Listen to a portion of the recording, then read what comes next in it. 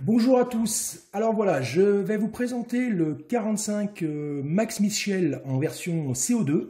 C'est un, 40, c'est un airgun que j'ai euh, vu assez fréquemment sur internet, mais j'ai été assez déçu de, des, essais, des tutos que j'ai pu, euh, voir sur, internet. Alors donc c'est pour ça que je voulais faire mon propre tuto bah, par rapport à ceux qui veulent l'acheter, pour pour qu'ils sachent vraiment euh, les tenants et aboutissants euh, de ce de. Pas euh, voilà, pas des, des, tutos de placement. Donc je vais vous dire la réalité, enfin ma réalité selon selon mon avis. Donc en, vous donnant le maximum de détails que je juge intéressant.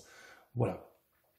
Alors juger un airgun comme ça tout seul sans le comparer à d'autres, ça me paraît assez peu pertinent. Donc c'est pour ça que je vais le comparer à deux autres airguns que j'ai, le P226X5, voilà, que je connais assez bien parce que j'ai quand même depuis quelques années, voilà, et le 45 euh, Blackwater, voilà, que j'ai aussi depuis quelques années, que je connais aussi assez bien ça permet de, bien juger par rapport à, quelque chose d'équivalent et, pas par rapport à une arme réelle. Voilà. Alors, première chose euh, de ce Max Michel, au niveau de l'aspect euh, général. Bon, toutes les parties noires sont à peu près correctes. Hein, euh, le, manche est à peu près aussi correct. Hein, voilà, il n'y a, a rien à dire de ce côté-là. Par contre, au niveau de, la partie, enfin des parties qui sont en couleur argent, là c'est quand même pas terrible. Parce qu'on a euh, même une impression, c'est tout, tout est bon, en alliage, hein, on peut pas dire en acier, mais bon c'est de l'alliage, je sais pas exactement l'alliage de quoi, mais bon c'est pas de la matière plastique, mais on dirait quasi de la matière plastique. Donc c'est si on touche pas, si on pèse pas, on, a l'impression que c'est du plastique et bon c'est pas bien pas bien normal. Hein. Ça fait une, peinture assez bas de gamme au niveau de au niveau de la partie argent. Aussi au niveau des bavures, alors je sais pas si on voit bien au, euh, sur la vidéo, mais euh, les bavures, bon, sans être catastrophique, euh, c'est pas terrible. La gâchette, elle fait un petit peu euh, voilà, euh, donc un petit peu bas de gamme. Hein. comparé bien sûr euh, aux deux autres, on est, on est un, cran, un en dessous. Voilà. Le chargeur, au niveau du chargeur. Donc ça, on aborde les points négatifs là. Hein. voilà. Donc au niveau du chargeur, bon, je le savais, hein, il n'y a pas de surprise.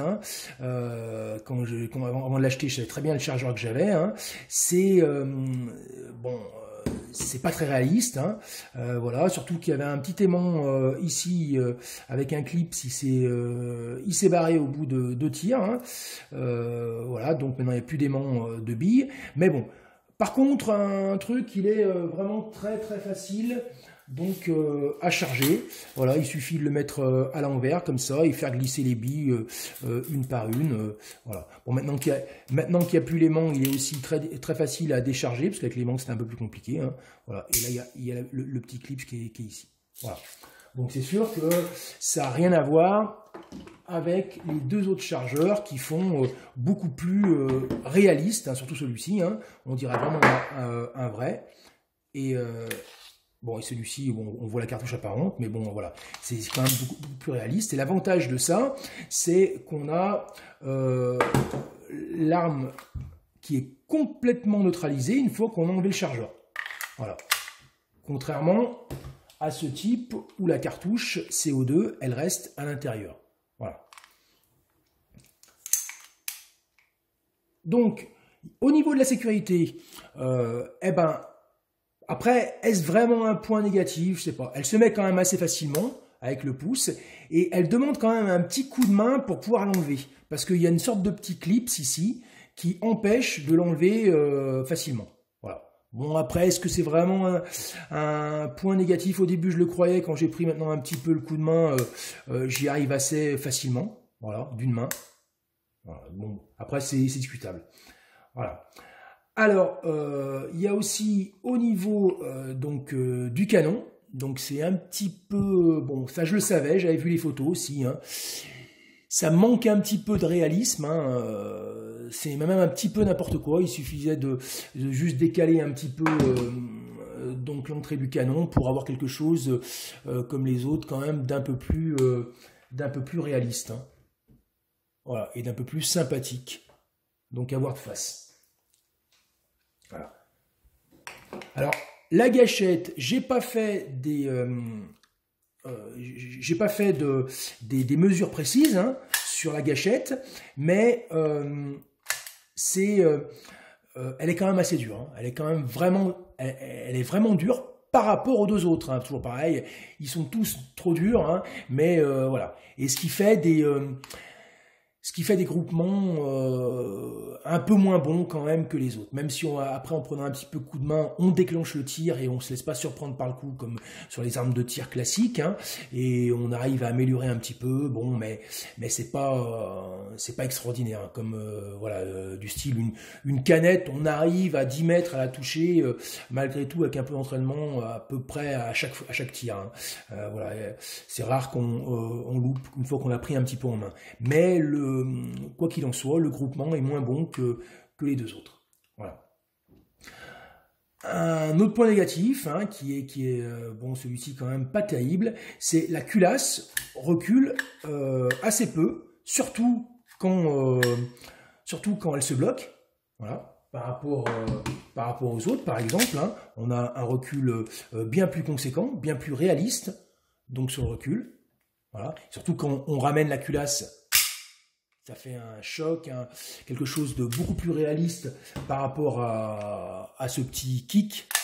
Voilà, de rien du tout. Bon, même si la culasse recule quand même bien euh, pendant le tir, hein, mais bon, euh, voilà, là c'est bizarroïde. Je ne sais pas comment ils ont calculé le, euh, le truc. Là, elle se bloque pas en fin de course, elle se bloque en plus à mi-course, à la fin du tir. Alors que normalement, la culasse se bloque complètement euh, donc euh, en, fin de course. Et justement, à ce sujet-là, euh, on a des choses un peu bizarroïdes aussi au niveau, au niveau de la culasse, au niveau du canon. Voilà, tout est bouché, il n'y a aucun accès. Alors comment ça peut se passer s'il y a une bille coincée, si, pour avoir le canon à nettoyer dans de bonnes conditions? Déjà, c'est pas réaliste et en plus, c'est pas très très rassurant. Voilà. Donc c'est bizarre.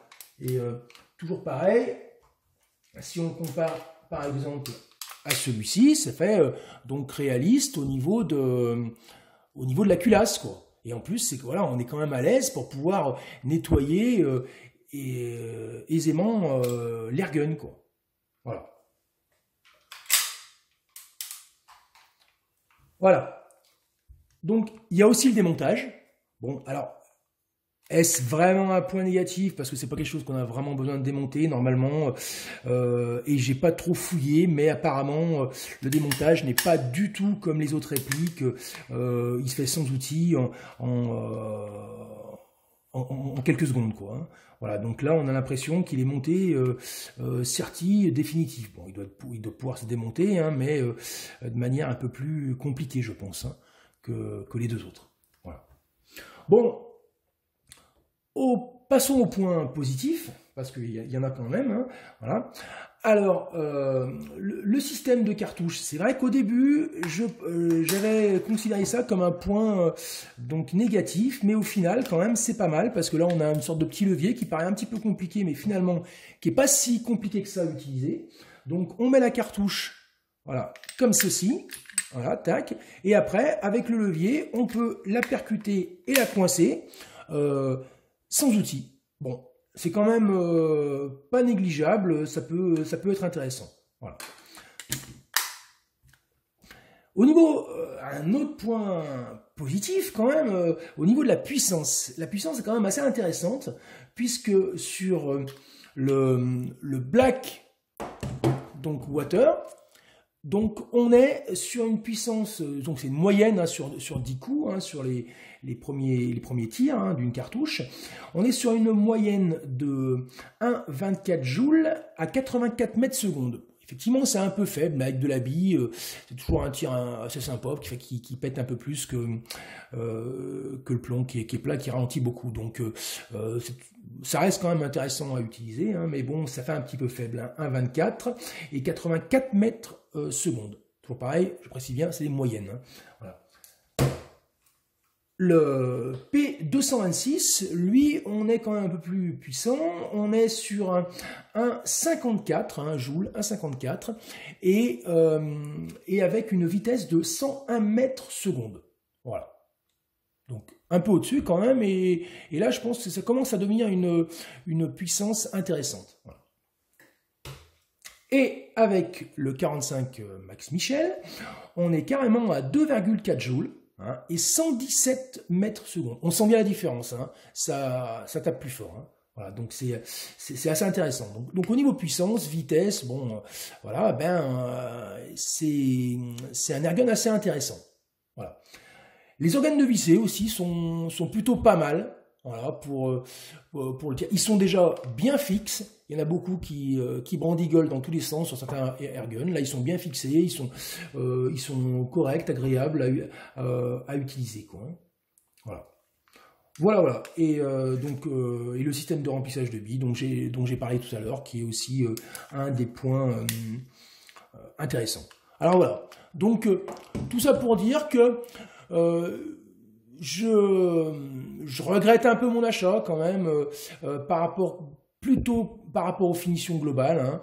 euh, voilà, mais c'est pas non plus un achat catastrophique et, et, incohérent. Il a quelques avantages et bon, c'est quand même un, un pas trop mal. Mais je voulais vraiment faire ce tuto pour que les futurs acquéreurs qui, qui, voient ce tuto euh, l'achètent en connaissance de cause et pas du tout comme on l'achète quand euh, on voit les, les tutos euh, donc de placement de produits sur, sur tous les tutos que j'ai pu voir au sujet de, de Stergun. Voilà.